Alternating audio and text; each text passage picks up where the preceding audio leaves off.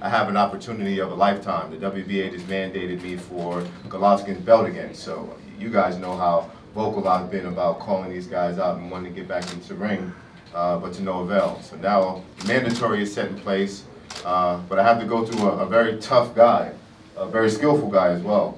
He's coming from Poland, he's undefeated. He just knocked out Charlo's last opponent. He was the first to do it. And, uh, you know, I have to respect this guy. I'm looking forward to both guys coming forward. Uh, not like the last fight where we got a bit trash talking and, you know, it was the opposite once we got in the ring. This fight is going to be two bulls coming straight at each other and it's going to be fireworks. I'm grateful that it's at the Barclay.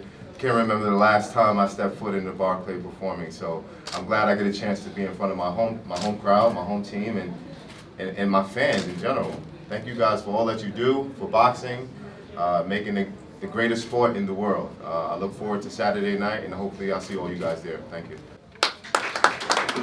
Damn. Uh. Yeah. Uh. Yeah. Uh.